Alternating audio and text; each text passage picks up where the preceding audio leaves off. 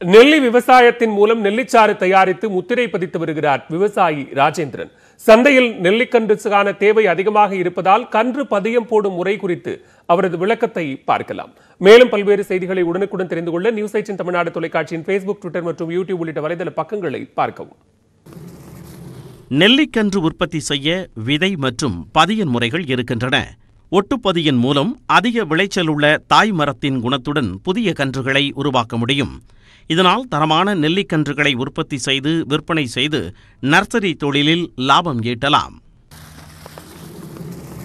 விருப்பமுள்ள விவசாயிகள் வந்து ஒரு சின்ன லெவலில் கூட நர்சரி ஆரம்பிக்கலாம். ஏன்னா ஒரு நர்சரி ஒரு அருமையான தொழில். ஏன்னா நம்ம சொந்தமாக உற்பத்தி பண்ணி விற்கும்போது நம்மளுடைய உழைப்பு தான் போகுது நல்ல வருமானம். இது வந்து விதை போட்டு முளைக்க வச்ச நெல்லிச்செடி ஒட்டுச்செடி இந்த விதைச்செடிங்க. இதிலிருந்து நம்ம வந்து பாருங்கள் இது வந்து இப்போ காய்ச்சிக்கிட்டு இருக்குது இல்லைங்களா? காய்ச்சிக்கிட்டு இருக்கிற மரத்தில் நம்ம சயான் மெட்டீரியல் இதை எடுத்து தான் நம்ம இதையும் இதையும் கிராஸ் பண்ணுறோம் இது எப்படின்னா இப்போ பாருங்கள் இது இருக்குன்னா இந்த வாதை வந்து இப்படி வெட்டிடுவோமுங்க தெரியுதுங்களா? பாருங்கள் இதை வெட்டிடுவோம் வெட்டி பாருங்கள் இது வந்து காய்ச்சிக்கிட்டு இருக்கிற த த தலை. இது வந்து பாருங்கள் இந்த இதையெல்லாம் வந்து இந்த இலையெல்லாம் இப்படி கட் பண்ணிடணுங்க. இப்படி கண்ணை வந்து விட்டுட்டு இப்படி கட் பண்ணிவிட்டு பாருங்கள் இது வந்து இருக்கு இல்லைங்களா? இது வந்து நம்ம ரெண்டு ஒரு செடிக்கு நெல்லி செடிக்கு ஒட்டு கட்டுறதுக்கு வச்சுக்கலாம். இது பாருங்கள் பண்ணிட்டுங்க. பாருங்கள் இது வந்து நம்ம வந்து விதை போட்டு முளைக்க வச்சுருக்கிற செடியை கட் பண்ணிவிடுவோம் கட் பண்ணிவிட்டு இதில் இருக்கிற தலையெல்லாம் பிச்சிருவோமுங்க. இப்படி. பாருங்கள் இது பிச்சிடுறோம் இல்லைங்களா? பிச்சிட்டு இன்னுமே தேவையான சைஸுக்கு நம்ம வந்து கட் பண்ணிக்கலாங்க. இப்படி வி ஷேப்பில் கட் பண்ணிக்கிறோம். பாருங்கள் இந்த மாதிரி வி ஷேப்பில் கட் பண்ணிங்க. இதை வந்து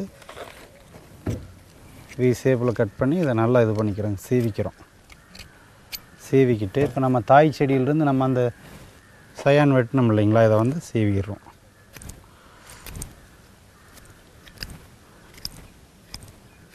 அதே வி ஷேப்பில் நல்லா சீவிட்டுங்க இந்த கண் அடிபடாமல் சீவிட்டு இதை அப்படியே வச்சிடுறோங்க உள்ளே வச்சிடுறோம். உள்ளே வச்சு பாருங்கள் இதில் வந்து நம்ம பிளாஸ்டிக் இதில் வந்து நல்லா பே நல்லா கரெக்டாக சுற்றி கட்டிடுறோம்.